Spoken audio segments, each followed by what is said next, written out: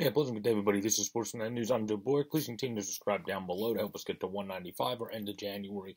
Goal really appreciate all the love and support of all the subscribers thus far. But let's get right into it. The Colorado Avalanche New Year report as we check in on the Colorado Avalanche's season thus far, which is another successful 1, 9, 8, and 2 this far this season for 40 points in 29 games with only one cat on their entire defense, which is the struggle bunny part if you look at the statistics of their team.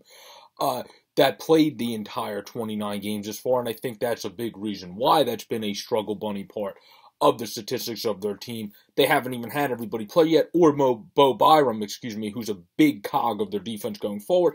Barron got two games to get a cup of coffee. He's going to be a big cog of their defense going forward. Probably the guy that slots in for Ryan Murray uh, who's going to be a big part of this year, but expires at the end of next year. So her slot right in there because Murray's bugaboo is obviously health. Uh, he's only played in a handful of the games, 17 this year of the 29.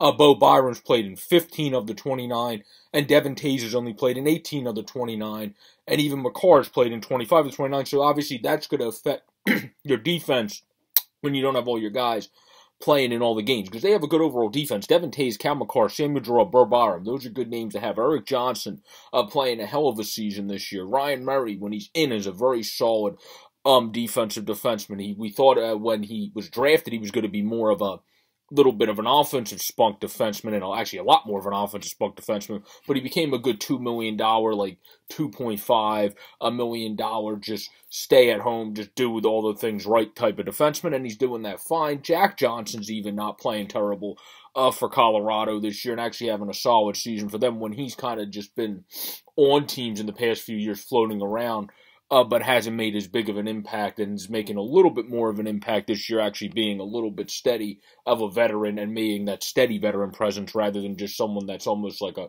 de facto player coach is just good to have in your locker room at that point. Uh, Valeri Nichushkin has only played in 18 games as well. Uh, He's been in and out. And then also when it comes to the minors, Megna had to play a lot of games this year. The AHL vet. Uh, Martin Kaut played in six. Kiefer Sherwood played in eight. Sampo Ranta, who was drafted in 18, played in 10. So he's got uh, experience that he's going to be able to learn from and tool and be able to use those toolages uh, the toolage he has, excuse me, to be able to learn and grow because he had the experience in the NHL, so now he knows what tools he really has to work on. Um, and that's going to only help him. Obviously, the same thing goes for their goaltending uh, prospect, uh, Justus Annunen, who already has had success at the AHL level, getting those two games, even though they weren't the squeakiest of clean the whole time he was up at the NHL level. He definitely had some good success, though.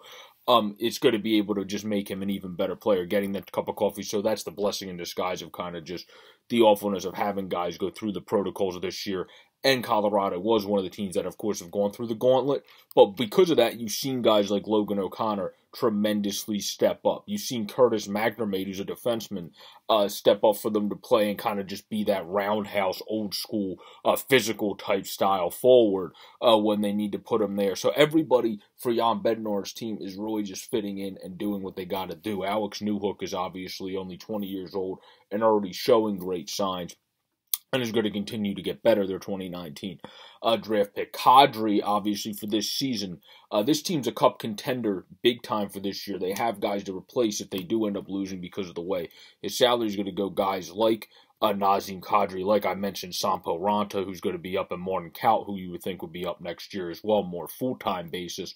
Uh, those guys come to mind, um, as well as other prospects that are not in their minor leagues yet come to mind as well.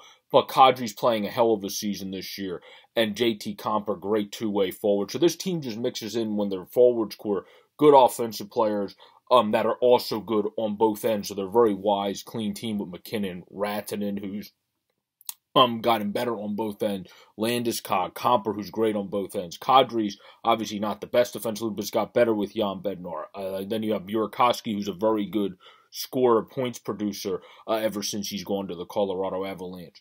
And then Nicolas Aube-Kubel has been more word to the wise uh, with the Avalanche than he was with the Flyers and is starting to kind of adjust to play like he did in the first year with AV, where he was a good, efficient forechecker and back checker and not being as kind of just dumb in the course of the game, taking stupid penalties. So this team, as long as their goaltending can keep trending the way it's going, Kuemper got off to a slower start. Obviously, they had Gruby doing really well. He goes on to the Kraken, and Kuemper comes in here, gets off to a little bit of a slower start with his new team because he had to adjust to the new team. I think that also plays into the defensive stats not being as good and also them having he only played in 21 of the 29 games. Francouz played in one, having different goaltending uh, play during the course of the uh, season as well as Johansson while he was there struggle. Um, that factors into the defensive stats as well. So I don't think their defense is really what it shows. That's where the stats can be deceiving. I don't think their defense is as poor as the stats have really shown this far because I think they actually have a good defense. But if you look at it statistically, um, the, their numbers per team defense in terms of goals allowed are 23rd, and their penalty kills all the way at 28th. So that doesn't spell well. So yeah, you want to get that penalty kill going more, but I think having just guys like Murray play more, guys like uh, Byram play more, guys like Toews continue to be in the lineup more, and not be out for seven to more uh, games, that's going to make a huge impact as these guys stay steady in the lineup because it already has been making a huge impact for the Colorado Avalanche as the closing point of this video because in their last 10, they're 8 1 and 1. So this team's showing that they are a cup contending team as long as everything goes right. And obviously, one thing they can't control because they've been going through the injuries as well. The COVID protocols go right for them because that's just something every team is dealing with as they've got through it a lot better than some. But obviously, that's something. Obviously, how it affects them going forward. That's why injuries wise, uh, they've had to have certain guys like McNamara and COVID protocols rise play forward and move defensemen into positions they wouldn't normally play in the forward core. But I hope everybody enjoyed this check in on the Colorado Avalanche, the new year.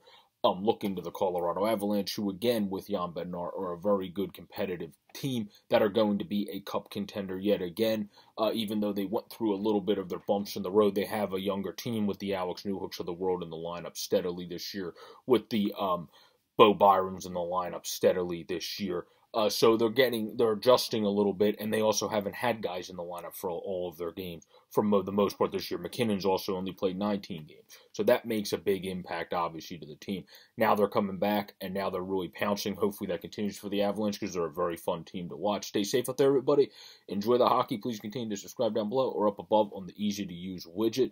Have a fun rest of the season, Avalanche fans.